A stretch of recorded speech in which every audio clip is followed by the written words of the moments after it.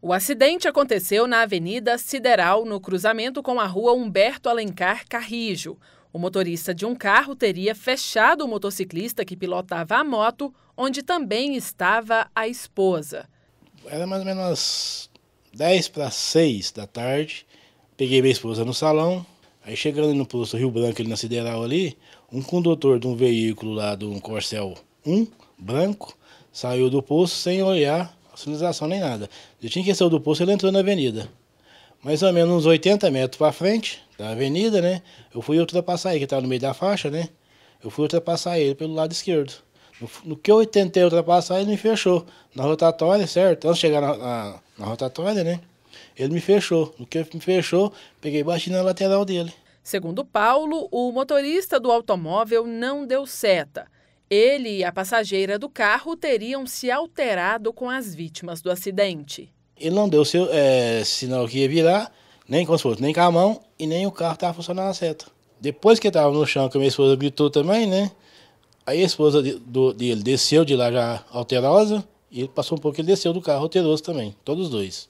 Entendeu? Falando que eu que estava errado, porque ele não viu a seta ligada, sendo que não deu seta.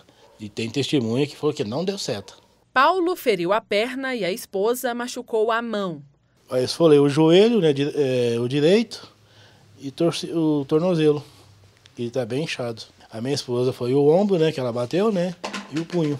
Ambos receberam atendimento do Corpo de Bombeiros e foram levados para a avaliação médica. Felizmente, está tudo bem com o seu Paulo e a dona Cleide mas uma situação como essa acaba deixando alguns prejuízos, os machucados, as dores.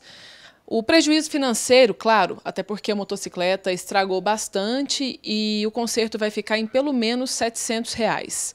Mas tem também uma outra situação que incomoda bastante, que é o medo de voltar para o trânsito com a moto, porque fica aquele receio do motorista de outros motoristas continuarem fazendo esse tipo de comportamento, né, seu Paulo? Aí fica, né? Porque o que eu vou fazer agora? Vou arrumar a moto e já curti com a minha esposa, vou arrumar e vou vender ela e pegar um carrinho. Já ficou com medo agora de continuar trafegando de moto? Fiquei com medo, né? Que não é a primeira vez que acontece isso, né? Comigo.